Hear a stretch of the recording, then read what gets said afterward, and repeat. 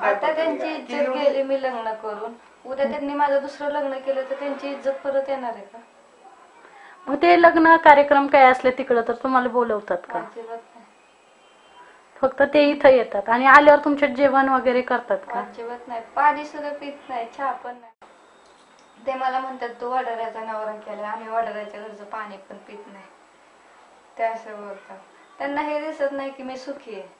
म्हणजे त्यांची गरिबी श्रीमंतीची पण दरी नाही. ते असं नाही म्हणत की तुम्ही गरीब आहे म्हणून मला तुमची इथं मुलगी खट त्याच्यामुळे पण ही गरीब करतात आणि गरीब जातीचं. जातीविषयी जातीविषयी. एवढा दोन करतात जमिनीसाठी बी आणि जातीविषयीसाठी आणि आपल्याला आपल्याला काय त्यांची जमीन नको काही नको त्यांनी करोड रुपये आणून दिले तरी आपल्याला एक रुपया नको त्यांचा फक्त आपणच त्यांना आम्हाला भेटले तर आम्हीच त्यांना देऊया. सर्वशीने बा तुम्ही घ्या. आमच्याच घरातले आहात तुम्ही. महत्वाचं असं आहे. की घरची एवढी त्यांना त्रास दिले ना तरी बी आम्ही ठामपणे उभा राहिलो आम्ही त्यांच्यासमोर मागं वाटलं नाही. आणि शिवाय ही बी हटली नाही. कधी म्हणली नाही बाबा मला जायचंच म्हणून. आणि त्यांनाही म्हणली नाही मी येते म्हणून.